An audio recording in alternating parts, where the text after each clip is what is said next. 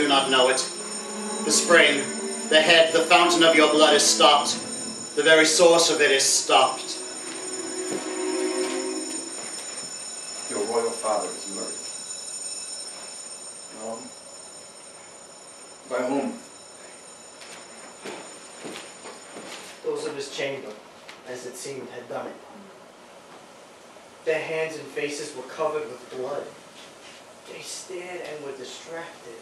No man's life was to be trusted with them. Well, yet I do repent me of my fury that I did kill them. Wherefore did you so? Who can be wise, amazed, temperate and furious, loyal and neutral in a moment? No man. The expedition of my violent love outrun the pauser, reason. Help me! Hence, ho! Look to the lady. Why do we hold our tongues? The most may claim this argument for ours. What should be spoken here? Where our fate, hidden in our home, may rush and seize us. Let's away. Our tears are not yet brewed. No strong saw upon the foot of motion. Men, when we have our naked frailties hid that suffer in exposure, let us meet and discuss this bloody piece of work to know it further. Fear and scruples shake us.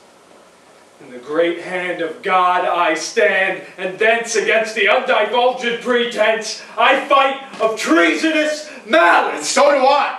So all. So all. So, let's briefly put on manly readiness and meet in the hall together. Well contended. Well contended.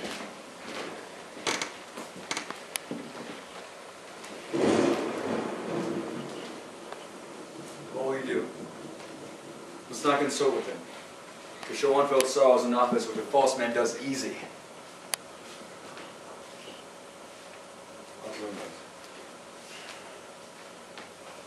To Ireland I. Our separated fortune shall keep us both this safe. Where we are. There's daggers in men's smiles. Near in blood the near bloody.